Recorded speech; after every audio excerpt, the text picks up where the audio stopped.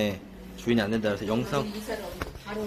바로는 아니더라도 그러니까 1월 초면은 한 달 넘으니까 제가 봤을 때 12월 중순까지는 어떻게 할 것 같아요. 아, 12월 예, 까지죠. 어, 12월 중순 정도면 화랑을 맡을 것 같은데 여기가 천에 천에 40에 관리비 9만 원인데 난방까지 포함해서 그러니까 전기세만 따로 내면 돼요. 난방 9만 원이 많다.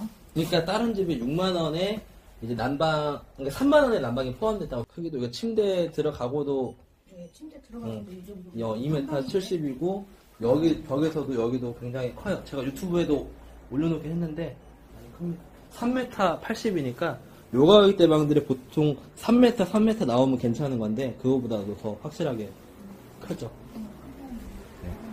일단 뭐 엘리베이터도 있고 여기가 큰 도로라 좀 오히려 큰 도로는 안전하긴 한데 좀 시끄러울 수는 당연히 있어요. 차들 왔다 갔다 하니까 근데 창이 또 두 개니까 그 정도 많이 어, 네, 여기는 반지하 방입니다. 반지하 왜 이렇게 요즘에 반지하만 찍는지 모르겠지만 음, 여기도 반지하고요. 어, 신대방역에서 어, 10분 정도 음, 걸릴 것 같아요. 그리고 내부는 보시다시피 이 정도면 뭐 깔끔한 편이죠. 그리고 반지하고 가격은 어, 500에 35입니다. 500에 35고 어, 관리비는 9만 원이에요. 9만 원에 어, 전기만 따로입니다. 그리고 보증금 아까 방금 제가 지금 갑자기 손님이 좀 있다가 올 수도 있을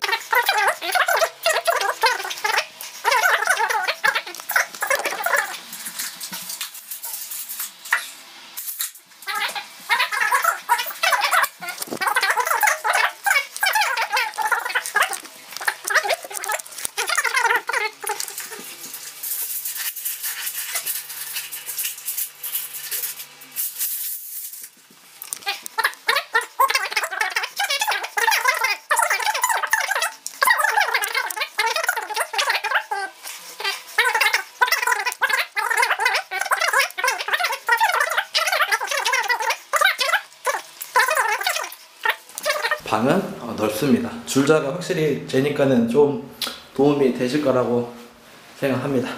재생 목록 누르시면 어, 1000개 정도의 방 영상이 있습니다. 가격대별로 정리해놨으니까 어, 시세에는 많은 도움 될 거라고 생각합니다.